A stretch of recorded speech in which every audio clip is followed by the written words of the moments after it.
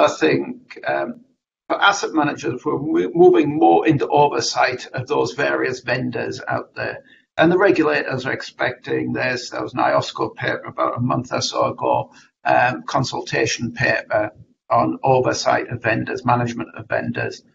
Um, this oversight's got to be there. And interestingly, we're getting into conversations now with um, service providers about using collaboration tools for managing those queries, which historically it's been emails back and forwards. But collaboration tools are just intelligent ways to have that conversation back and forward. So it's all in one place. The right people are included in the conversation.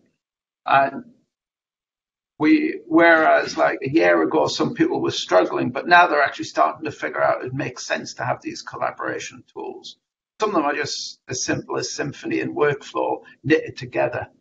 Um, but there's real opportunities to get up the efficiency because as we automate, as Jeroen says, we're left with this oversight. And it's actually quite manual and it requires very expensive bits of labor rather than, rather um, then automate it away.